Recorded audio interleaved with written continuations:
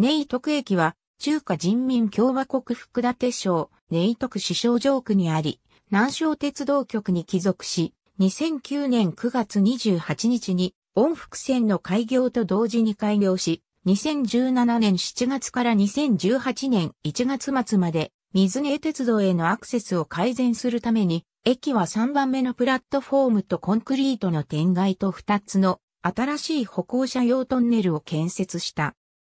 ネイ徳駅は市の東部で最大の鉄道駅であり、音福線の福建地区で最大の旅客を持ち、鉄道部と福建省とネイ徳市が共同で投資し、中南建築設計員が設計し、中国鉄道建設グループが建設し、総投資額は約2億9000万円。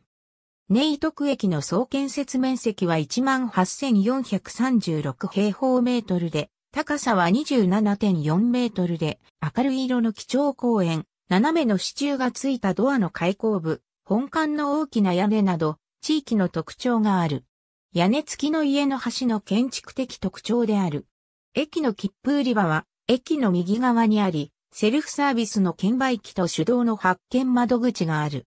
待合室は、駅の中央に位置し、2階に分かれており、最高の周回数は1200人である。2階の待合室は一駅とつらい地であり、1階の待合室はトンネルを通って他の中間駅に入ることができる。駅1番ホーム駅2.3番ホームネイトク駅は支店に2面6線であり、通過線に2線を確保した。駅のプラットフォームの長さは500メートルで、そのうちの一つの駅の幅は15メートルで、中間のプラットフォームは幅10.6メートルで、大スパンコートラス構造キャノピーを覆われる。